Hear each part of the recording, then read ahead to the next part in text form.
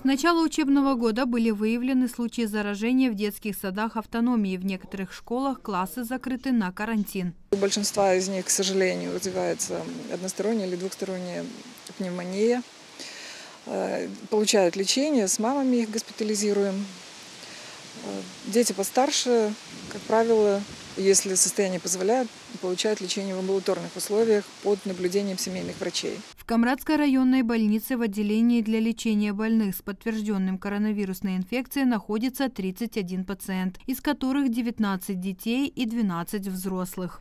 Да, э, заболеваемость пошла на спад. Э, Посмотрим, как будет дальше, что будет дальше происходить с эпидеми- эпидемиологическим э, процессом. На сегодняшний день мы свернули 18 коек, потому что заболеваемость пошла на спад. Э, Но все-таки вот два этажа у нас заполнены пациентами. По словам Нины Райлян, в основном заражаются и госпитализируются дети от двух месяцев до двух лет. На сегодняшний день в ковид-отделении только три пациента с тяжелой формой. Директор районной больницы Нина Райлян дала некоторые рекомендации по предотвращению ковид-заболеваний. Соблюдайте все простые правила. Мойте руки с мылом, когда приходите э, с улицы домой. Э, Не посещайте места с большим скоплением людей.